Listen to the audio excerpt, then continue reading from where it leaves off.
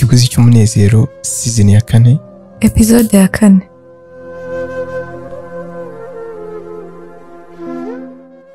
Mu gice giheruka twari twamenye ko Patrick n'umugore we babuze urubyaro. Hagati aho David we yarageze ku rwego rwo kwanga ko bazana umukozi agira ngo ajye bari kumwe na Rosine bonyine. Nimureke dukurikire. Umubano hagati ya Rosine na David David yakomeje kubaka ashishikaye buri kimwe cyose akomeza kugikorera Rosine ngo arebe ko yakwishima ndetse bagakomeza kwegerana. Igitondo kimwe Rosine yarabyutse aritegura ngo ajye ku ishuri yambara imyenda y'ishuri ndetse ajya no gufata icyayi. David nawe yari ari mu cyumba ari kuri telefone wumva ko yizihiwe cyane. Rosine arangije kunywa icyayi David yaramuhamagaye ubwo yari ari mu cyumba aho akiryamye Rosine abanza kugira gushidikanya muri we ariko ajya kwitaba ngo yumve icyo bamushakira yageze ku muryango w'icyumba David aryamamo yumva agize ubwoba bwinshi cyane. David yumvise ko ahagaze ku muryango w'icyumba ariko yanze kwinjira abyuka mu buriri yegera Rosine ku rugi ngo amusabe yinjire mu cyumba. Ese kutinjira ufite ikihe kibazo? Oya ntago ninjira. Mbwira icyo ushaka kumbwira.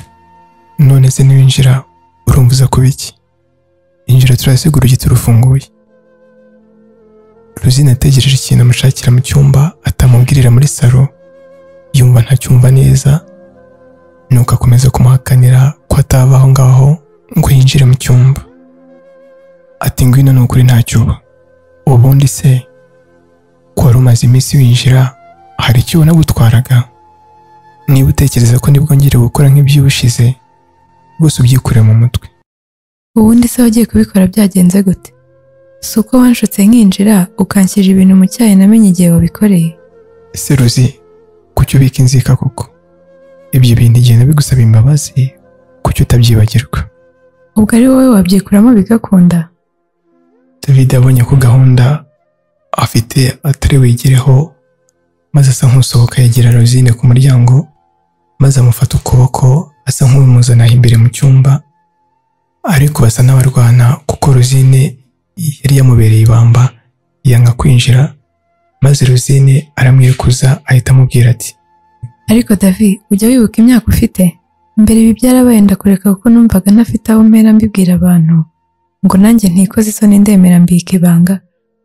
Ariko ibyo ukomeza unyereka bituma numva nabwira abantu bose ibyabaye hagati yanjye nawe nubwo nta wanyumva. Ariko nkabivuga nkaruhuka muri njye. Ubu se kuba unyereza kujya ku ishuri ubu bivanamo irihe shema twumvikane ibi bizongera gusubira undi munsi ntabwo nzabyihanganira. Rosine nyuma y'ayo magambo yahise yigira ku ishuri ariko ababaye cyane kuko yabonaga David atazigera ahinduka.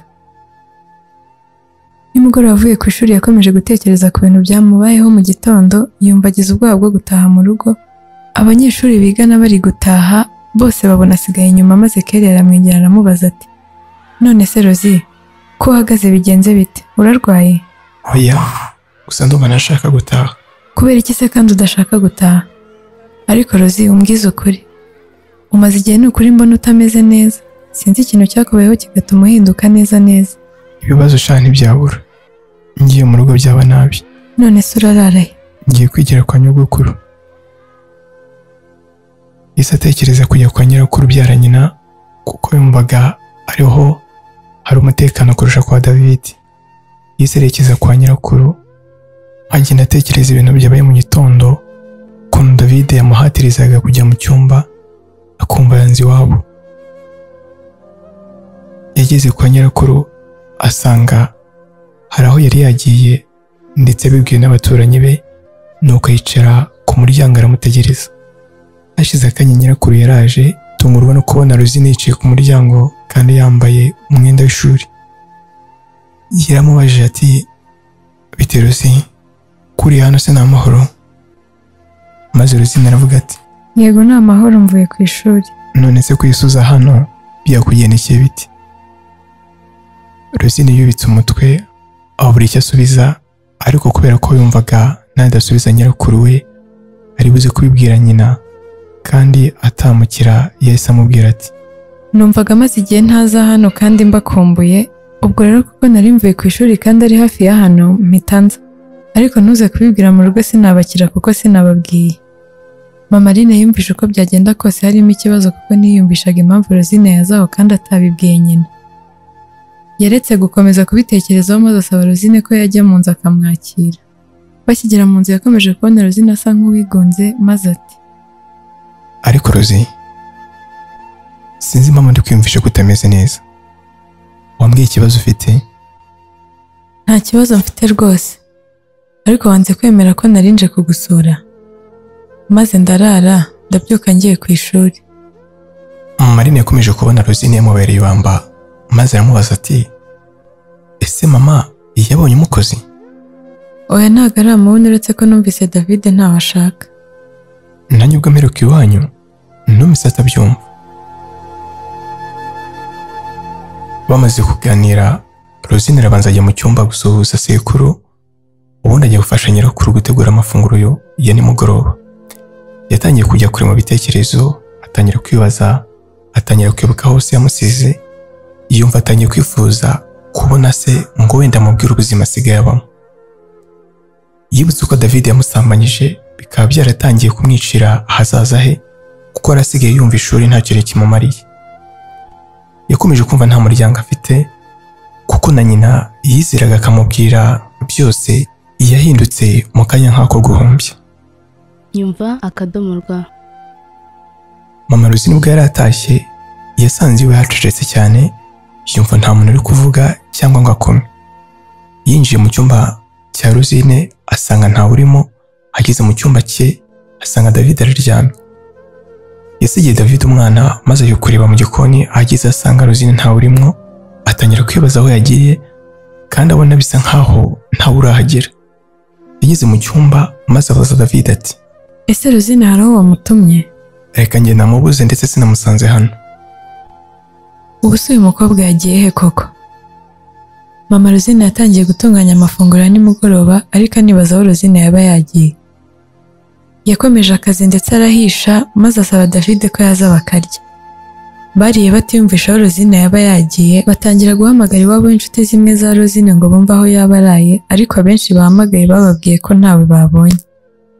Mama Rosine yatekereje guhamagara nyina ngo yumve ko ariho araye atangira amubaza ati ese mama Rosine yaba yaje aho ko twamubuze? Yego arahari. None se kuki agenda atavuze ahubwo agahangayikisha abantu? Mumpe tuvugane ruzine afashe telefone avugana na nyina maze nyina aramubaza ati urifata ukagenda utabuze koko? Mama numvaga nkumbuye mukecuru niko kuvuga nti reka njye kumureba kandi numvaga nta kibazo kiri bube kubera naje hano.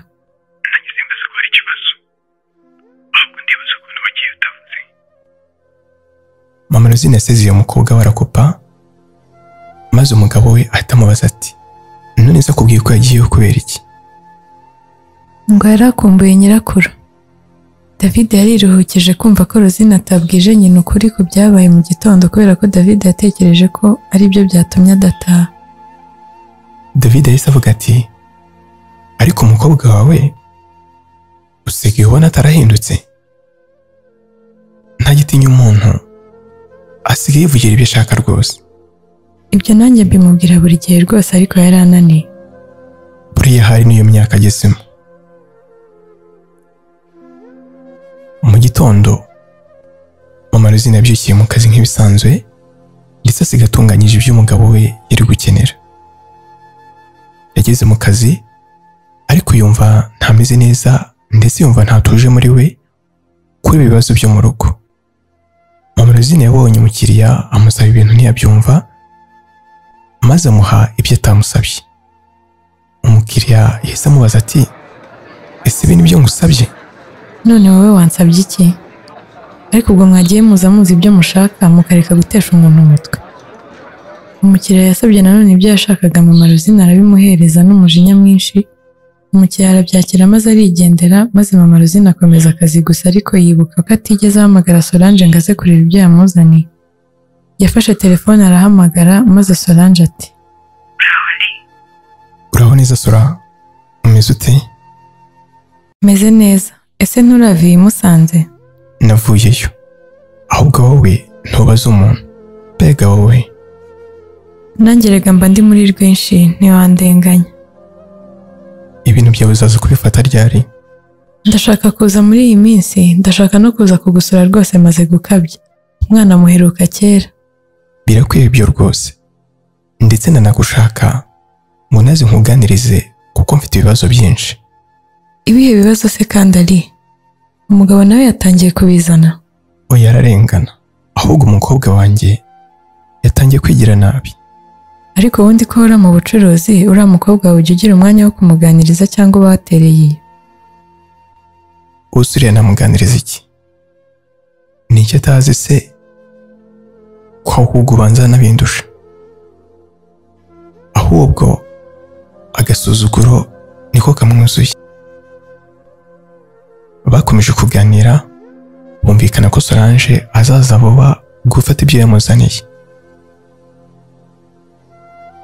Mama Ruzine ku mugoroba atashye yasanze Ruzine atashye amusanga mu gikoni arimo atunganya ibya nimugoroba abanza gushyira umwana mu cyumba dore ko yari yanasinziriye maze agaruka kureba Ruzine mu gikoni. Yabanje guhagarara ku muryango w'igikoni yitegereza Ruzine ari nako amwibazaho ibibazo byinshi.